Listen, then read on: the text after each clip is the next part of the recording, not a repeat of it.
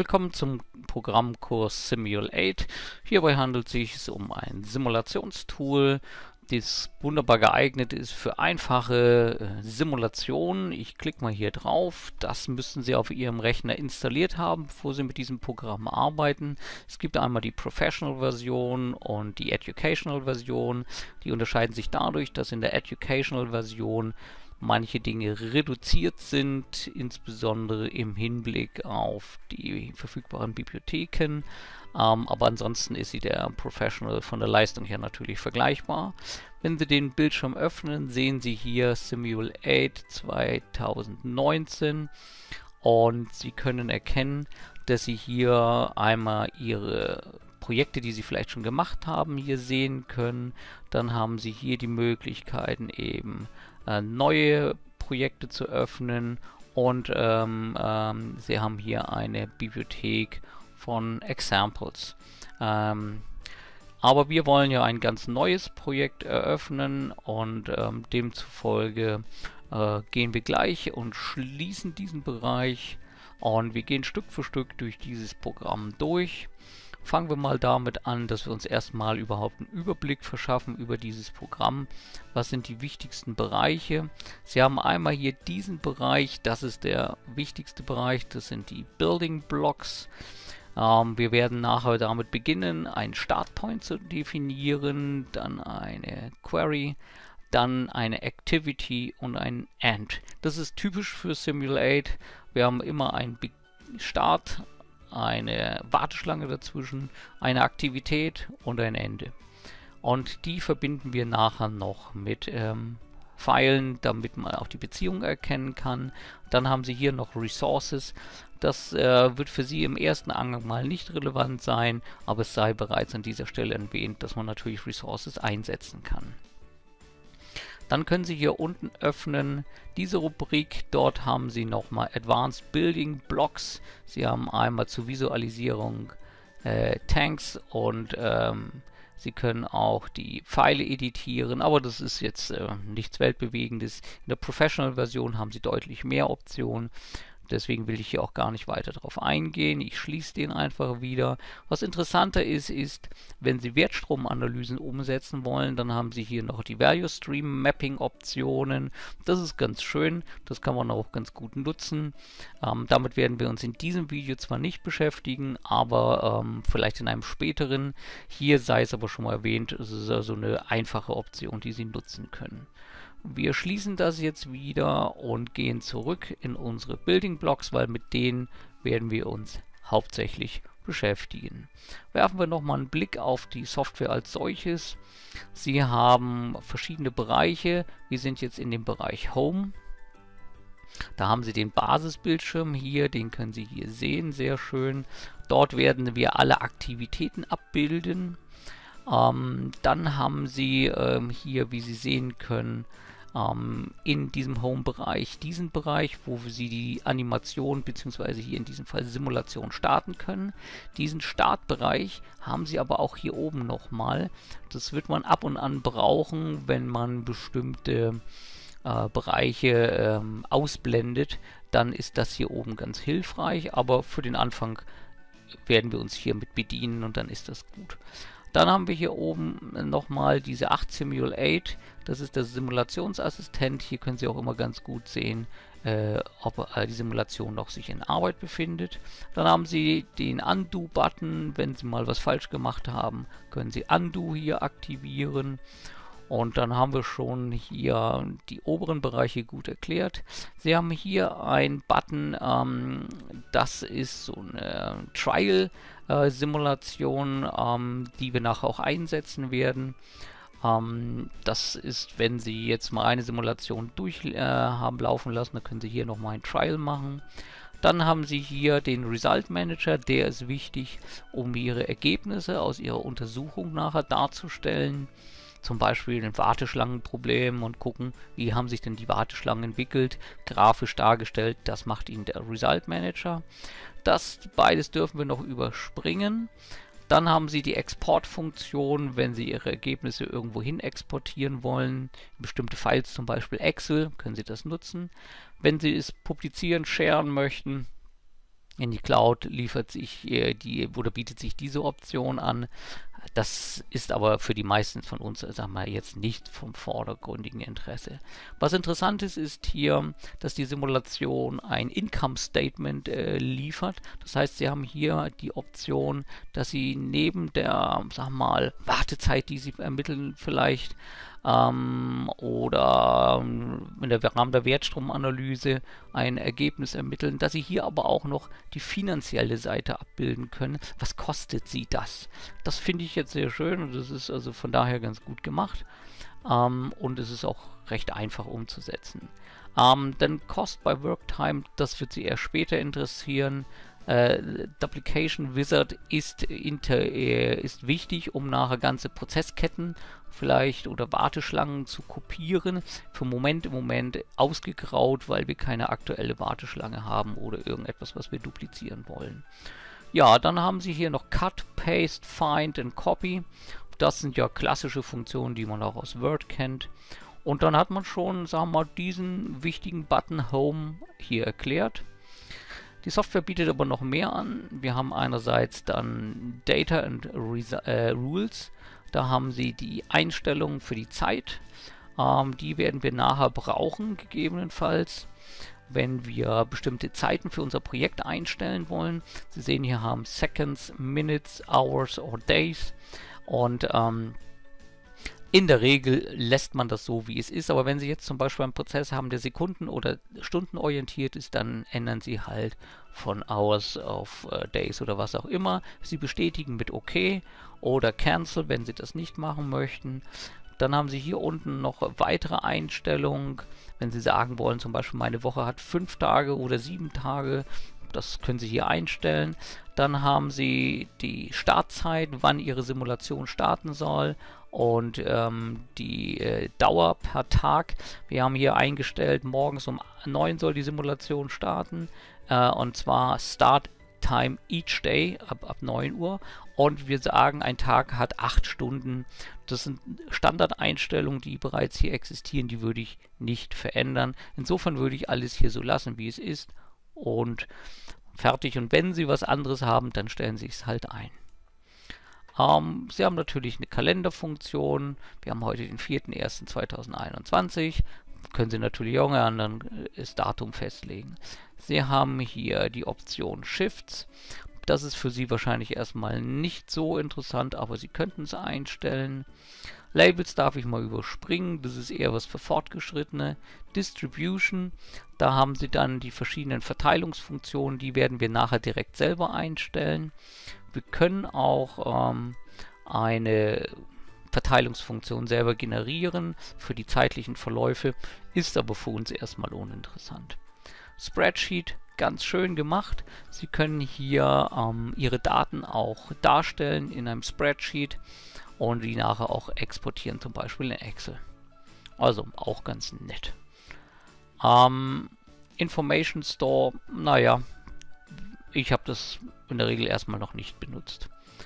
Dann haben sie Object Type, Groups, Resource Matrix, Resource Schedule, äh, Schedule Maintenance, äh, Quick Build. Das sind Dinge, die sie später brauchen, wenn sie ähm, doch schon sehr stark äh, fortgeschritten sind in dem Umgang mit dieser Software. Von daher darf ich die erstmal weglassen.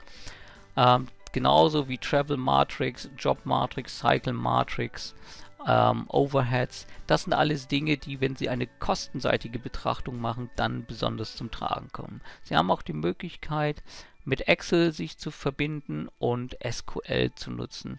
Und als Skriptsprache, was ich auch ganz schön fand, ist hier R hinterlegt. Also von daher eine ganze Menge an Optionen, die Sie haben. Dann gehen wir mal hier weiter. Insert. Wenn es Ihnen danach ist, können Sie zum Beispiel ein Image hier in den Background hinterlegen. Und äh, Sie haben hier auch eine Image List, also eine Liste von Möglichkeiten. Ich denke mal, wir werden den Bildschirm so weiß belassen, wie er ist. Für die Videodarstellung ganz schön, aber wie gesagt, Sie können hier Ihre Images selber reinlegen. Wenn Sie zum Beispiel ein Layout haben von einer Produktionsanlage und da, darauf Ihre Simulation legen wollen, dann ist das durchaus hilfreich. Textblöcke können Sie natürlich einführen. Sie können äh, Annotations, also äh, Hinweise einfügen. Sie haben Charts und Tables. Also da haben Sie eine ganze Menge von Möglichkeiten. Äh, Slider, Buttons, Sie können das also interaktiv auch Ihre Oberfläche gestalten. Aber all das ist für so eine Einstiegsveranstaltung jetzt erstmal zu viel. Und dann äh, die Simulationseigenschaften würde ich so belassen, Dialoge und Command äh, würde ich alles so lassen, würde ich erstmal nichts ändern. Dann haben Sie den View. Ähm, dort können Sie bestimmte Dinge einstellen. Objektstatus, naja, wenn man es will. Das ähm, habe ich noch nicht benutzt. Was vielleicht ganz sinnvoll ist, ist ein Lineal sich mal anzeigen zu lassen. Das könnte man machen, wenn man es will. Das würde dann angezeigt werden. Sie können auch hier zum Beispiel ein Vergrößerungsglas nutzen, wenn Sie das wollen. Ähm, äh, Sie können aber auch ein, äh, äh, hier so ein Pad einbauen, vielleicht ganz nett. Äh, Sie können auch hier Quick Launches einbauen, aber auch das pff, hier hätten sie jetzt die Finanzzahlen zum Beispiel. wer es will, mag es tun. Ich habe da jetzt nicht so die Liebe für äh, empfunden. Dann ähm, Clear Display, wenn Sie mal den Bildschirm wieder alles wegmachen möchten. Und so haben Sie eine ganze Menge weitere Einstellungsmöglichkeiten wie gesagt, für den Anfang auch wiederum nicht so wichtig, als dass wir da jetzt im Detail einsteigen müssten. Vergrößerung, Zoom haben Sie natürlich hier unten, da können Sie viel einfacher das machen, als wenn Sie jetzt da oben hingehen. Also von daher auch ganz gut. Also, das ist die, äh, die Übersicht, also der View, die Ansicht, die Sie ändern können. Dann haben Sie äh, Visual Logic. Da können Sie ähm, an der Logik ihrer Simulation arbeiten, aber ähm, das würde ich jetzt auch erstmal lassen. Lassen Sie es erstmal so, wie es eingestellt ist. Dann Advanced. Ähm, hier haben Sie nochmal ein paar weitere Einstellungsmöglichkeiten, aber das Wort sagt schon Advanced, würde ich jetzt für den Anfang nicht nutzen wollen. Und dann haben wir noch die Help-Funktion. Da haben Sie einen Quick Guide, das was Sie im Internet finden, ein paar Einst äh, Einstiegsvideos. Und ähm, ja, das war es aber dann schon. Vielleicht die Examples sind ganz, ganz nett, aber dann haben Sie die wichtigsten Funktionen jetzt hier gesehen. Das ist das, was man zur Oberfläche sagen kann, sollte, aber wir werden uns hauptsächlich in der Home Oberfläche bewegen, weil das ist am einfachsten. Und jetzt würde ich sagen, beginnen wir einfach und fangen mal an, die Simulation einfach aufzubauen. Wir machen eine ganz simple Darstellung. Stellen Sie sich mal folgendes Beispiel vor wir sind in einem Supermarkt, das kann man sich, glaube ich, gut vorstellen. Und wir haben dort eine Schlange, ähm, wir haben einen Eingang, wir haben eine Schlange, wir haben eine Kasse und natürlich haben wir irgendwann auch einen Ausgang. Das heißt, ich wiederhole nochmal, wir haben einen Eingangsbereich, wir haben eine Schlange, die steht dann vor der Kasse, dann haben wir die Kasse als solches und wir haben einen Ausgang. Und das wollen wir einfach mal abbilden. Uh, und deswegen beginnen wir mal hier mit dem Start Point. Sie können hier Doppelklick machen und ähm, dann haben, hat man den hier direkt drin und dann ziehen Sie den Point hier einfach rein und damit haben Sie Ihren Start Point definiert. So, in diesen Start Point können Sie jetzt schon mal gleich, wenn Sie möchten, Ihre Daten eintragen, die Ihnen wichtig erscheinen und ähm, wir, wir machen das einfach mal so. Wir sagen mal, wir tragen da schon mal unsere Daten ein, die wir für unser Beispiel wählen wollen. Ähm, wenn Sie das wollen, dann nehmen Sie einen Rechtsklick, dann kriegen Sie Properties, Eigenschaften, dann draufklicken und dann sehen Sie dieses Fenster. In dieses Fenster können Sie jetzt Eintragung vollziehen. Wir tragen mal ein, ähm, unser Beispiel ist ja, wir wollen einen Eingang, also also Eingang ähm, Supermarkt. Damit ich Supermarkt nicht immer schreiben muss, schreibe ich mal Market. Market. Market, also Eingang Market. Dann wissen wir, wir sind also in unserem Eingangsbereich vom Markt. Und ähm, jetzt haben wir eine Fragestellung, die sich stellt. Und zwar, ähm, wir haben dort natürlich Personen, die in diesen Markt eintreten. Und wir müssen uns fragen, können wir dazu was sagen, ähm, wie viele Personen denn dort sind? Und ähm, kann man da etwas sagen, ähm, wie oft da jemand zum Beispiel kommt. Und wir sagen mal die Ankunftszeiten ähm, die Leute haben, wenn sie in den Markt kommen, Richtung Kasse, sagen wir mal alle fünf Minuten. Da sehen Sie, hier oben steht Minuten dran. Wir sagen also, alle fünf Minuten kommt einer rein. Und wir sagen, die Verteilungsfunktion, ähm, da haben wir boah, logarithmische Funktionen, ähm, wir haben hier äh, Uniform, wir haben normal verteilt, äh, Durchschnitt, Average. Wir haben also alles Mögliche an Verteilungsfunktionen, die hier auftreten könnten. Und wir sagen mal, wir hätten eine Exponentialfunktion. Und ähm, das können Sie aber selber entscheiden aufgrund der Erfahrung, die Sie dort sagen. Wir sagen, wir haben eine Exponentialfunktion. Damit haben wir die Entscheidung getroffen. Im Übrigen sehen Sie immer, Sie kriegen dann auch ein Hilfefenster geöffnet, wenn Sie Fragen haben, wie jetzt zum Beispiel, ist das jetzt offen. Ähm, was müssen wir noch machen? Ähm, wir müssen eigentlich nicht mehr viel machen, weil wir wollen es ja simpel gestalten. Wir wollen noch äh, auf Graphics klicken und hier auf Title und sagen, dass er uns den Titel, nämlich Eingang Supermarkt, auch zeigen soll. Die Daten, die hier sind, äh, Position and Wrap, das würde ich nicht ändern. Lassen Sie es einfach erstmal so, wie es ist. Bestätigen wir mit OK, bestätigen wir nochmal mit OK und dann bestätigen wir das insgesamt mit OK und dann sehen Sie, haben wir Eingang Market definiert und haben schon den ersten Schritt vollzogen. Wir haben ja gesagt, es ist klassisch bei Simulate, es beginnt mit einem Start, das ist also unser Eingangsbereich zum Beispiel, und dann kommt natürlich irgendwie so eine komische Schlange. Wir gehen mal von einer Warteschlange aus. Wir klicken und Sie sehen, er verbindet selber bereits. Das ist ganz komfortabel. Und wir müssen jetzt nur noch unseren Rechtsklick machen und die Eigenschaften hier definieren und wir definieren das mal jetzt hier diesen Bereich als Schlange, Market. Das heißt, wir sagen, es bildet sich jetzt da eine Schlange. Und ähm, ja, dann können wir noch sagen, wir wollen folgendes haben. Also wir, wir definieren keine spezielle Kapazität. Das haben wir ja bereits äh, äh, gemacht, indem wir sagen, es kommt alle fünf Minuten eine Person, da müssen wir jetzt hier nichts mehr machen. Wir priorisieren auch hier erstmal noch nicht, weil dazu müssen wir spezielle Labels definieren, lassen wir alles weg. Ähm, aber was wir machen, wir sagen, wir wollen wieder Graphics klicken und wir wollen hier etwas haben. Wir wollen das grafisch dargestellt haben, so als ein Tank, der sich auffüllt und abfüllt. Das heißt, die Schlange schwillt an oder sinkt wieder ab und das wollen wir mit so einem, Tank darstellen. Also der, der läuft dann voll und läuft wieder aus. So wie so ein Eimer Wasser, in dem was rauf und runter läuft, also voll läuft, überläuft oder äh, wieder abläuft. Also das jetzt nur rein zur optischen Darstellung. Mehr müssen wir gar nicht tun. Und bestätigen wir mit OK. Dann bestätigen wir auch hier nochmal mit OK. Und haben unsere Simulation in diesem Bereich erledigt.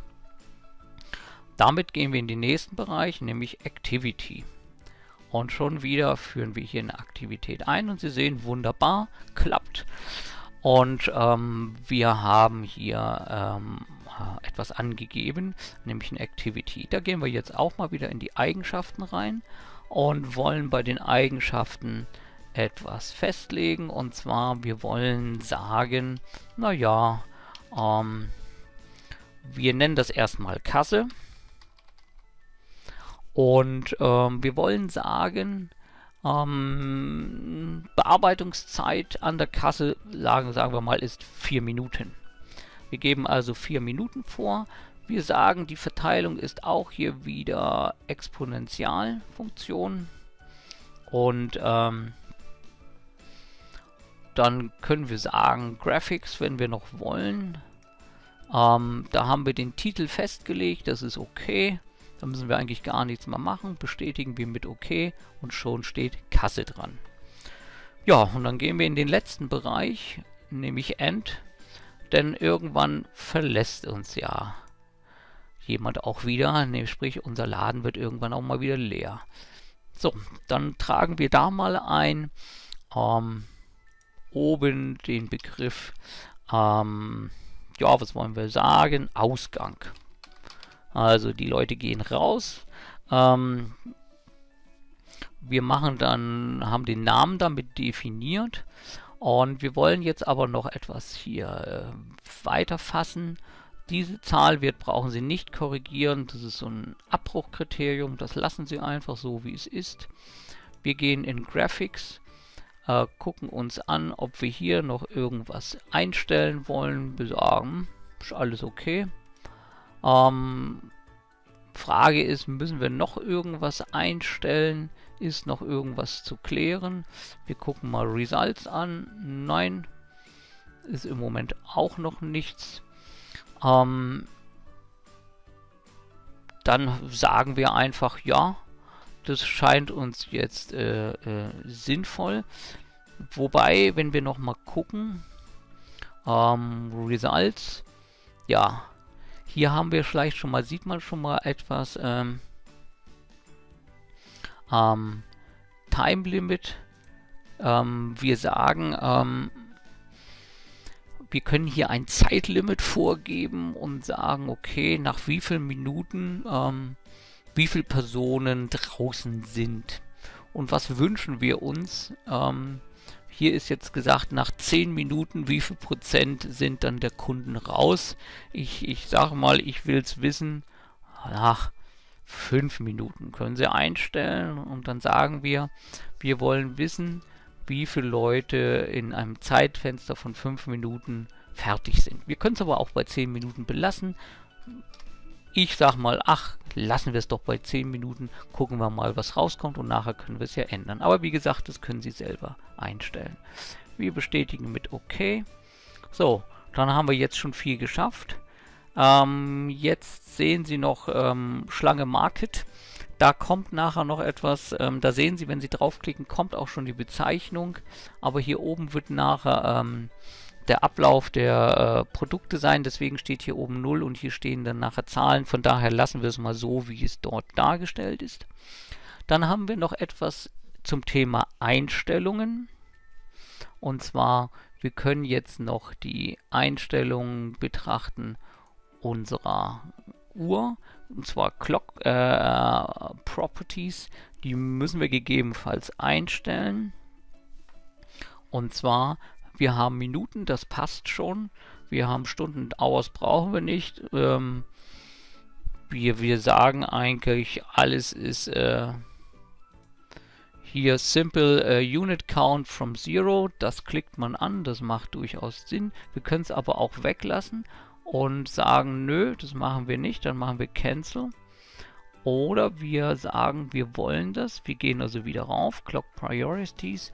Da wir schon Minutes angegeben haben, müssen wir da eigentlich gar nichts machen. Also lassen wir es einfach so, wie es ist in Minutes, dann sehen wir nämlich nachher auch dort die Uhr. Würden wir jetzt Simple Unit Counts angeben, dann würden wir hier oben eine Anzeige von Einheiten bekommen statt Zeitangaben. Also besser ist alles so lassen, wie es ist. Dann haben wir noch Warm-up Period. Brauchen wir eine, eine Zeit ähm, ähm, zum Warmwerden, bevor wir die, die Dinge dort starten an den, an, an den entsprechenden Stationen? Nein, wollen wir nicht. Wir lassen das, ist okay. Mit 0 Sekunden. Dann ähm, steht hier noch etwas Result äh, Collection äh, Period. Und dort geben wir mal ein folgendes. Simulation Time Units und wir wollen die Simulation laufen lassen 5000 Minuten lang und wollen gucken, was dann dabei rauskommt. Also, und ähm, wenn Sie wollen, dass es noch ein Beep gibt, damit äh, Sie hören, wann die Simulation fertig ist, dann können Sie da das Kreuz machen. Ich will es nicht. Deswegen machen wir jetzt hier OK und bestätigen mit OK. Und dann haben wir unsere Simulation dargestellt. Und ähm, jetzt liegt es an Ihnen. Ich würde Ihnen empfehlen, ähm, mal die Simulation zu speichern. Wir wollen sie mal speichern und dann mal klicken Sie auf File und Save As und dann nennen wir sie mal ähm, Video 1. Und dann speichern wir sie. So, und damit haben wir die Datei gespeichert. Und wenn wir jetzt alles richtig gemacht haben oder alles falsch, dann werden wir es gleich sehen. Wir gehen wieder auf Home zurück. So, jetzt sind wir auf Home. Ähm, Sie sehen, dort sind jetzt schon die 5000 Minuten eingetragen. Den Speed setzen wir mal hoch, weil wir wollen ja relativ schnell durchgehen, wenn die Simulation läuft. Und äh, wenn alles gut ist, dann läuft sie jetzt, wenn Sie auf Run gehen. Und Sie sehen, unsere Simulation läuft. Sie läuft relativ schnell. Wir sind schon durch. Ähm, wir haben knapp 9000 äh, Personen durchgeschleust. Das überrascht uns auch nicht. Wir haben ja 5000 Minuten gehabt und haben 5 Minuten als Annahme gehabt, ähm, dass alle 5 Minuten einer kommt. Also sind ungefähr 1000 Personen durchgeschleust worden hier. Das sieht also schon mal gut aus. Jetzt gucken wir uns an, was wir aber haben als Result. Fangen wir mal an. Sie können sich jetzt die Results anschauen. Und zwar, Sie können jetzt folgendes machen. Sie gehen auf die einzelnen Objekte und gehen dann hier, dort haben Sie Start Point und dann Properties, Additional und Graphics. Wenn Sie jetzt hier auf Results gehen, dann sehen Sie erste Ergebnisse. Wir sehen Eingang Market 990, Items in unserem Fall Personen durch. Uh, number of worked items lost 0, also 990 sind durch. Okay. Wir sehen, 981 sind aber nur angekommen. Naja, das liegt daran, dass noch paar zwischendurch hier drin sind. Da sind noch hier einer 7 drin, hier ist noch einer drin und dann kommen wir auf 990. Also einer steckt noch irgendwo wahrscheinlich in der Kasse. Aber das ist uns egal. Erledigt. Damit haben wir mal so den ersten Eindruck gewonnen. Jetzt gucken wir uns mal an, was ist denn hier los. Und zwar klicken wir hier ebenfalls drauf und gehen wieder nach oben und können uns die Results anschauen. Jetzt gucken wir mal, was hierbei rausgekommen ist. Und dann sehen wir, ähm, ja, 990 sind durch. Ähm, aktuell sind noch 7 drin. Average Time 3,34, also relativ schnell. Maximums, äh, Maximumzeit 20. Das heißt, also durch diese Schlange, ähm, da haben welche bis zu 20 Minuten gestanden. Das ist also schon eine ganze Menge. Und äh, Average waren aber 3,34. Wir gucken uns nochmal das an. Und zwar, ähm, das sind die Number of Work Items. Das heißt, ähm, das sind die äh, Personen. Und jetzt gucken wir uns die Zeiten an. Und da sehen Sie, Average Time 16,91, Maximum 93,98 und äh, Standardabweichung 18,61. Und ähm, das heißt, unsere Zeitvorgabe, dass innerhalb von 10 Minuten die da durch sind, durch unsere Schlange, das haben nur 49% der Personen geschafft. Ähm, innerhalb dieses Limits, was wir vorgegeben haben. Naja, das ist jetzt nicht sonderlich gut. Kein gutes Ergebnis. Dann gucken wir uns mal die nächste Rubrik an, unsere Kasse. Gucken wir uns mal an, was wir dort haben. Additional Graphics und ähm, Properties. Dort können Sie immer hin und her klicken. Jetzt sehen Sie hier wieder unsere Results. Und da sehen wir, ähm, einer ist noch in der Aktivität. Average war 0,91, also 0,81, Entschuldigung. Maximum war einer, klar, kann auch nicht sein. Anders sein, completed waren 982. Und wir sehen, das ist interessant jetzt hier, Percentage of Time, um, uh, awaiting time, work und uh, working. Das heißt, zu 80% hat die Kasse voll gearbeitet. Die waren also voll beschäftigt. Und nur zu 19,36% hatten sie Wartezeiten. Also diese Kasse, da ist Stress. Sie können sich das auch nochmal hier anschauen, wenn man das Bild hier klickt. Dann sieht man auch hier nochmal, kann man sich das anschauen. Waiting und Working und das ist ein gutes Ergebnis. Also da kann man nicht meckern. So, das muss man dann wieder schließen und dann gucken wir uns nochmal die Results an. Und ähm, da ist er. Da öffnen wir ihn wieder. So, und das ist schon mal ganz gut. Und wenn Sie wollen, ähm, ähm, dann haben Sie das auch hier nachher add the uh, all uh, percentage of time results to summary. Wir könnten jetzt das zu einem Summary hinzuaddieren. Ob Sie das jetzt wollen, das überlasse ich Ihnen. Ich will es jetzt mal nicht. Ich bestätige mit OK und gehe jetzt mal in den nächsten Bereich hinein und gucke mir an einmal die Results am Ausgang. Was ist denn am Ausgang los? Ja, rausgekriegt haben wir 981 completed. Ähm, da sehen Sie Time and System ähm, 1,79 bis äh, Average 22,79, äh, Maximum 99,58, Standardabweichung 18,88. Nur 30% haben wir hier also durchgekriegt. In der Zeit, Time Limit, was ich vorgegeben hatte, von 10 Minuten. Das ist nicht sonderlich gut. Wenn wir uns dieses Zeitlimit als wichtig erachtet haben und sagten, das wollten wir erreichen. Also hier wüssten wir jetzt, haben wir äh, Room for Improvement. Und ähm, das ist eigentlich ganz schön zu sehen. Man kann sich das auch jetzt nochmal hier anschauen, indem Sie draufklicken und dann das sich hier hochziehen. Können Sie sich ein bisschen größer ziehen. Und dann sehen Sie auch hier nochmal so die Verteilung. Und ähm, dann sehen Sie, ähm, ja, das ist schon, ja, auffällig. Also nur wenige haben diese 10% Time, 10 Minuten und dann äh, wird die Zeit größer, größer, größer. Die Kurve fällt dann ab, sind zwar nur wenige mit 90 oder 80 Minuten, aber mm, kein, kein sonderlich, sag mal, erfrischendes Ergebnis. Das haben wir uns sicherlich so nicht gewünscht. Was können wir jetzt noch tun? Finance werden wir nachher betrachten, dahin können wir nachher Daten hinterlegen, aber das machen wir in einem späteren äh, äh, Timeslot. Jetzt gehen wir nochmal auf Home und dann können Sie nochmal diesen Bereich ähm, äh, Run and Trial da können Sie sich da im Grunde nochmal was äh, aussuchen. Das machen wir gleich. Und wir gucken uns einmal aber, das haben wir noch nicht gemacht, den Result Manager an. Und dann sehen Sie, äh, der Result Manager ist momentan noch leer.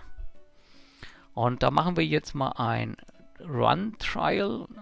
Das heißt, wir lassen den mal laufen. Und jetzt hat er für uns ein Ergebnis rausbekommen. Ähm, und das gucken wir uns an.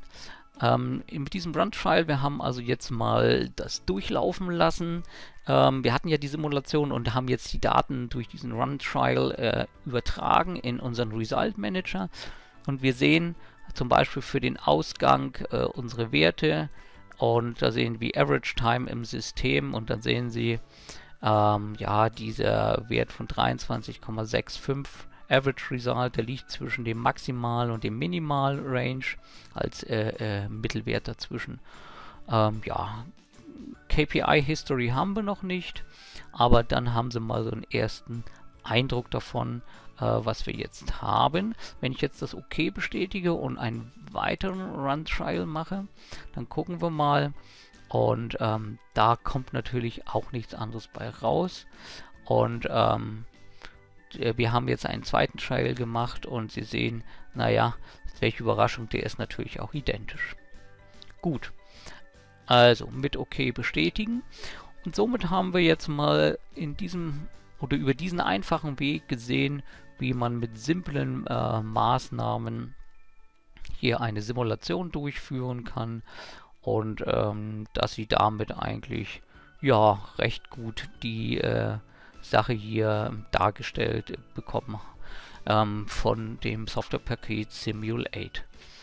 Ja, vielen Dank erst einmal für diesen Teil. Wir werden dann im nächsten Teil an diesem Beispiel weiterarbeiten und dieses dann ähm, umsetzen ähm, mit Modifikation und schauen uns an, was wir noch daraus alles machen können. Also vielen Dank und bis zum nächsten Teil.